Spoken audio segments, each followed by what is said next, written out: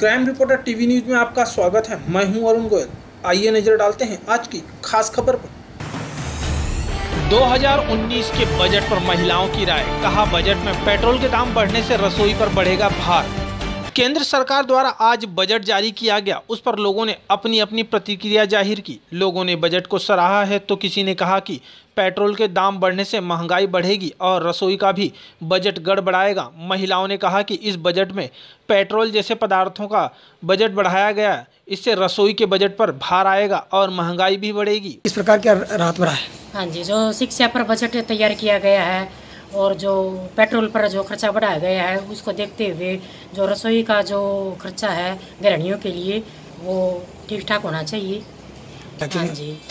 Petrol का खर्चा बढ़ने पर रसोई का जो खर्चा है वो भी उस पर भी हो जाएगा जी सारा। शिक्षा का जो बजट तैयार किया वो रात भरा है।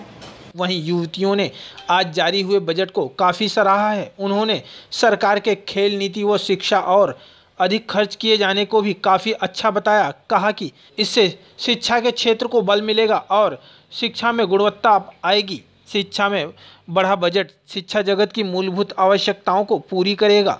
तो जो है सरकार का क्या कहना चाहोगे बहुत अच्छा है। शिक्षा के क्षेत्र में खेल के क्षेत्र में बहुत अच्छा परिणाम आ रहा है और इसे बढ़ावा भी मिल रहा है और हम बहुत खुश हैं।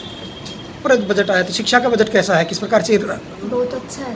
जो ये बजट पास किया गया है, इससे विद्यार्थियों को काफ़ी प्रोत्साहन मिलेगा अपनी शिक्षा को रोबस्ट करने के लिए, उसका, उसको स्ट्रेंथन बनाने के लिए।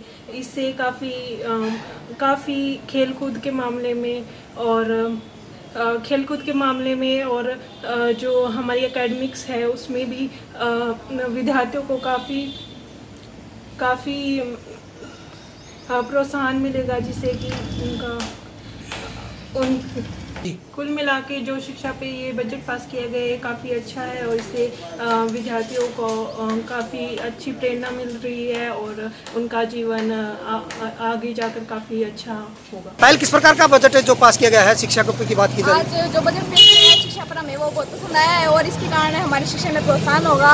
हमें शिक्षा करने में बहुत आसानी का अनुभव होने वाला है इससे और हमें इस बजट से बहुत ज़्यादा खुश हैं। भिवानी से साहिल गिरधर की एक रिपोर्ट।